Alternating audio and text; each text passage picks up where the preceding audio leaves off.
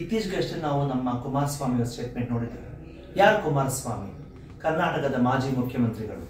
ಜಾತ್ಯತೀತ ಜನತಾದಳದ ಹಾಗೂ ಭಾರತೀಯ ಜನತಾ ಪಕ್ಷದ ಒಂದು ಅವಿಭಾಜ್ಯ ಅಂಗ ಆಗಿರುವಂತಹ ನಮ್ಮ ಕುಮಾರಸ್ವಾಮಿಯ ಕೊಟ್ಟ ಸ್ಟೇಟ್ಮೆಂಟು ತುಂಬ ನಾವೆಲ್ಲ ಗಮನಿಸ್ತಾ ಇದ್ದೀವಿ ರಾಜ್ಯಾದ್ಯಂತ ಇದು ಹೊತ್ತಿ ಹುರಿತಿರುವಂಥ ವಿಚಾರ. ಅವ್ರು ಏನು ಹೇಳ್ತಾ ಇದ್ದಾರೆ? ಮಹಿಳೆಯರ ಬಗ್ಗೆ ನಿಜವಾಗ್ಲೂ ಕಾಳಜಿ ಇದ್ದಿದ್ದಿದ್ರೆ, ಮಹಿಳೆಯರ ಪರವಾಗಿ ಸಬಲೀಕರಣದ ಒಂದು ದೃಷ್ಟಿಕೋನ ಜೊತೆ ಇದ್ದಿದ್ದಿದ್ರೆ ಅವರ ಚಿಂತನೆಗಳೇ ಸ್ತ್ರೀ ವಿರೋಧಿಗಳಾಗಿರುವಂಥ ಈ ಒಂದು ಸನ್ನಿವೇಶದಲ್ಲಿ ಇಂಥ ಸ್ಟೇಟ್ಮೆಂಟ್ ಒಪ್ಪಲಿಕ್ಕೆ ಸಾಧ್ಯ ಆಗ್ತದೆ. ಅವ್ರು ಹೇಳ್ತಾರೆ, ಕರ್ನಾಟಕ ಘನ ಸರ್ಕಾರದ ಪಂಚ ಈ ಒಂದು ಏನು ನಾವು ಸ್ಕೀಮ್ಗಳನ್ನ ಮಾಡಿದ್ದೀವಿ. ಅದು ಮಹಿಳಾ ಸಬಲೀಕರಣ ದೃಷ್ಟಿಕೋನದ ಸ್ಕೀಮ್ ಅಂತ ನಾವೇನು ಹೇಳ್ತಾ ಇದ್ದೀವಿ. ಐದು ಗ್ಯಾರಂಟಿಗಳು ಅಂತ ನಾವೇನು ಹೇಳ್ತಾ ಇದ್ದೀವಿ. ಸರ್ಕಾರದ ಪಂಚ ಯೋಜನೆಗಳು ಮಹಿಳಾ ದೃಷ್ಟಿಕೋನದ ಸಬಲೀಕರಣದ ದಿಗ್ನ ಸಾಗ್ತಿರುವಂತಹ ಈ ಯೋಜನೆಗಳು ನಮ್ಮ ಇಡೀ ರಾಜ್ಯದ ಮಹಿಳೆಯರ ಘನತೆಯನ್ನು ಎತ್ತಿರುವಂತಹ ಈ ಕಾರ್ಯಕ್ರಮಗಳು ಸರ್ವ ಜನಾಂಗದ ಶಾಂತಿಯ ಆಧಾರ ತೋಟದ ಈ ಮಹಿಳಾ ಸಬಲೀಕರಣ ದೃಷ್ಟಿಕೋನ ಇವತ್ತೇನು ಮೇಲ್ಗೆ ಸಾಧಿಸ್ತಾ ಇದ್ದಾವೋ, ಅದನ್ನು ನೋಡಲಿ ನಿಮಗೆ ನಿಮಗೆ ಮನಸ್ಸಾಕ್ಷಿ ಇಲ್ವಾ ಅಂತ ಕೇಳ್ತಾ ಇದ್ದೀನಿ. ನಿಮಗೆ ಸಹಿಸಿಕೊಳ್ಳೋಕೆ ಸಾಧ್ಯ ಆಗ್ತಾ ಇಲ್ವಾ ಅಂತ ಕೇಳ್ತಾ ಇದ್ದೀನಿ. ಯಾಕೆ ಮಹಿಳೆ ಬಗ್ಗೆ ಇಷ್ಟು ನಿಮಗೆ ಕಠೋರವಾದ ಮನ ಇದು ಮನಸ್ಥಿತಿ ಇದೆ? ಯಾಕೆ ನಮ್ಮಂತ ಮಹಿಳೆಯರ ಬಗ್ಗೆ ಇಷ್ಟೊಂದು ಕಠೋರವಾದಂತಹ ಒಂದು, ಆ ಒಂದು ಚಿಂತನೆ ಬಂದಿದೆ? ಅದು ಇವತ್ತು ನಾನು ವಾಪಸ್ ಪ್ರಶ್ನೆ ಮಾಡ್ತಾ ಇದ್ದೀನಿ. ನೀವು ಯಾವುದೇ ಕಾರಣಕ್ಕೂ ಮುಲಾಜಿಲ್ದಿರ. ಈ ಕೂಡ ನೀವು ರಾಜ್ಯದ ಘನತೆಯ ಮಹಿಳೆಯರನ್ನ ಕ್ಷಮೆ ಯಾಚನೆ ಮಾಡಲೇಬೇಕು. ಮತ್ತೆ ನೀವೇನ್ ಹೇಳ್ತಾ ಇದ್ದೀರಿ?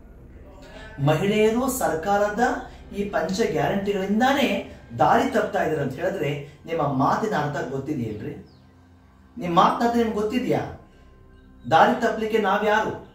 ನಮಗೆ ದಾರಿ ನೀರು ತಪ್ಪಿಸ್ಬೇಡಿ. ನಿಮ್ಮಂತ ಗಂಡಸರು, ನಿಮ್ಮಂತ ಗಂಡಸರ ಒಂದು ಯೋಜನೆಯ ದೃಷ್ಟಿಕೋನ ಇದೆಯಲ್ಲ, ಅದು ನಮ್ಮಂತ ಮಹಿಳೆಯರ ವಿರುದ್ಧವಾಗಿರ್ಬೇಕಾದ್ರೆ ನಮ್ಮನ್ನ ತೀರ್ಮಾನ ಮಾಡ್ಲಿಕ್ಕೆ ನೀವ್ ಯಾರ್ರಿ? ನೀವು ಹೋಗಿದ್ರಲ್ಲ ಈ ಫ್ಯಾಸಿಸ್ಟ್ ಸರ್ಕಾರ ಜೊತೆ ಕೆಲಸ ಮಾಡಬೇಕು, ಈ ಫ್ಯಾಸಿಸ್ಟ್ ಪಕ್ಷ ಜೊತೆ ಕೆಲಸ ಮಾಡಬೇಕು ಅಂತ ನೀವು ಹೋಗಿದ್ರಲ್ಲ, ಅಲ್ಲಿ ನೀವು ಹೊರಟೋಗಿ. ನಮ್ಮ ಮಹಿಳೆಯರ ಘನತೆನ ಮಾತಾಡಲಿಕ್ಕೆ ನೀವು ಯಾರು? ನಿಮಗೆ ಮಾತಾಡುವ ನೈತಿಕ ಹಕ್ಕು ಇಲ್ಲ ಎಂಥದ್ದಿಲ್ಲ. ಬಿಕಾಸ್ ನಿಮ್ಮನ್ನು ನೀವು ಮಾಡ್ಕೊಂಡು ಹೊರಟೋಗಿದ್ದೀರಿ. ಹಾಗಿದ್ದಾಗ ನಮ್ಮ ರಾಜ್ಯದ ಸರ್ವ ಜನಾಂಗದ ಶಾಂತಿಯ ತೋಟದ ಮಹಿಳೆಯರ ಘನತೆಯನ್ನ ಈ ಸರ್ಕಾರ ಮಾಡಿದ್ರೆ ಯಾರು ಮಾಡಬೇಕು? ನಿಮ್ಮಿಂದ ನಾವು ನಿರೀಕ್ಷೆ ಮಾಡಿ ಸಾಧ್ಯ ಆಗ್ತಿತ್ತಾ? ನಿಮಗೆ ಬಡವರ ಬಗ್ಗೆ ತುಂಬ ಪೊಲಿಟಿಕಲಿ ನಾನು ಸರಿ ಇರಬೇಕು ಅಂತ ಸ್ಟೇಟ್ಮೆಂಟ್ ಮಾಡ್ತೀರಿ.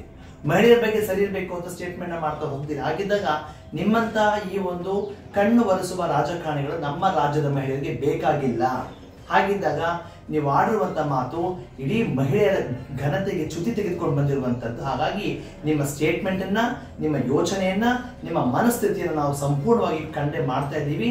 ನಿಮ್ ಕೆಲಸ ಏನಿದೆ J D S equals BJP ಅದನ್ನ ನೀವೇನ್ ಕೆಲಸ ಮಾಡ್ತೀವಿ ಮಾಡ್ಕೊಂಡು ಹೋಗಿ, ಅದು ಇಮಿಡಿಯೇಟ್ ಆಗಿ ಈ ಕ್ಷೇ, ಈ ಕೂಡಲೇ, ಈ ಕ್ಷಣ ತಾವು ನಮ್ಮ ಮಹಿಳೆಯರ ಕ್ಷಮೆಯನ್ನು ಯಾಚನೆ ಮಾಡಲೇಬೇಕು ಅಂತ ನಾನು ಹಕ್ಕು ಹಕ್ಕೊತ್ತಾಯವನ್ನು ಮಾಡ್ತಾ ಇದ್ದೇನೆ. ಮತ್ತಷ್ಟು ವಿಶೇಷ ವಿಡಿಯೋಗಳನ್ನು ನೋಡಲು ಮತ್ತು ಹೊಸ ವಿಡಿಯೋಗಳ ಬಗ್ಗೆ ತಿಳಿಯಲು Ee Dina dot com YouTube channel subscribe ಮಾಡಿ ಮತ್ತು ಬೆಲ್ ಐಕಾನ್ ಕ್ಲಿಕ್ ಮಾಡಿ.